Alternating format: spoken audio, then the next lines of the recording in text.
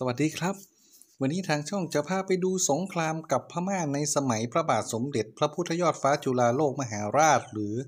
รัชกาลที่ 1 นะครับ พศ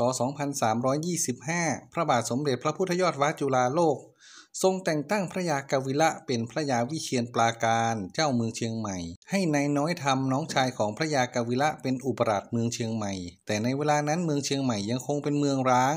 ยังไม่สามารถตั้งเมืองอยู่ได้ ระยากาวิละจึงมาตั้งมั่นที่เวียงป่าซาง หรือป่าช้าง เพื่อรวบรวมผู้คนไปตั้งเมืองเชียงใหม่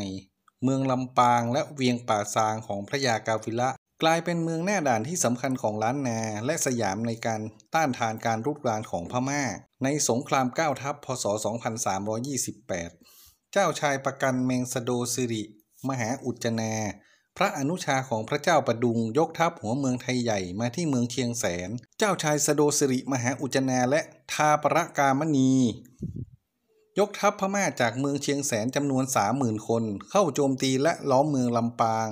นำไปสู่การล้อมเมืองลำปาง นอกจากนี้ ฝ่ายพม่ายังยกทัพไปตีเมืองแพร่ จับกลุ่มตัว พระยาแพร่มังชัยเจ้าเมืองแพร่กลับไปเป็นเฉลย พระยากาวิละรักษาเมืองลำปางอยู่ได้เกือบสามเดือน ทางฝ่ายกรุงเทพ จึงส่งทัพขึ้นมานำโดยพระเจ้าน้องยาเธอ เจ้าฟ้ากรมหลวงจักรเจษดาและเจ้าพระยามหาเสนาปรี ช่วยเหลือขับไล่พม่าให้พ้นไปจากเมืองลำปางได้สำเร็จในพศ 2329 กองทัพพม่าถอยทัพกลับไป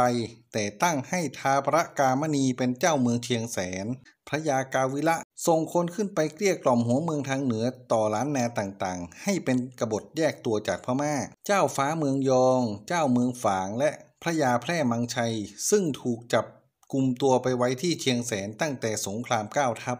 จึงลุกฮือขึ้นก่อกบฏต่อพม่า ปีต่อมาในพศ 2330 พระเจ้าประดุงส่งทัพมาปราบเมืองฝางได้ และตั้งทัพที่เมืองฝาง เตรียมเข้ารุกรานลำปางต่อไป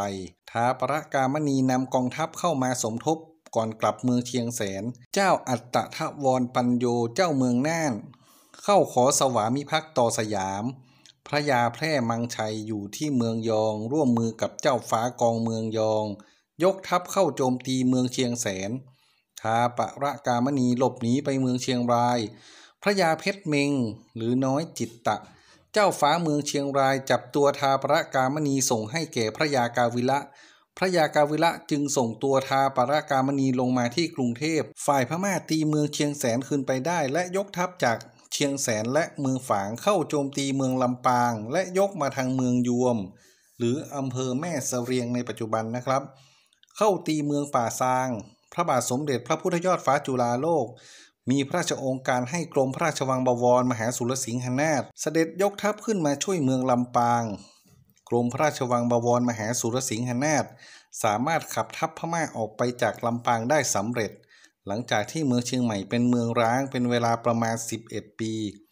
พระบาทสมเด็จพระพุทธยอดฟ้า มีพระราชองค์การให้ตั้งเมืองเชียงใหม่ขึ้นอีกครั้งให้เรียบร้อย เพื่อเป็นเมืองสำหรับการรับศึกพม่าทางเหนือ ให้พระยากาวีระ รวบรวมผู้คนจากลำปางมาตั้งเมืองเชียงใหม่ พระยากาวิระยังอยู่ที่เวียงป่าซางอยู่จนถึงพศ 2339 จึงเข้าครองเมืองเชียงใหม่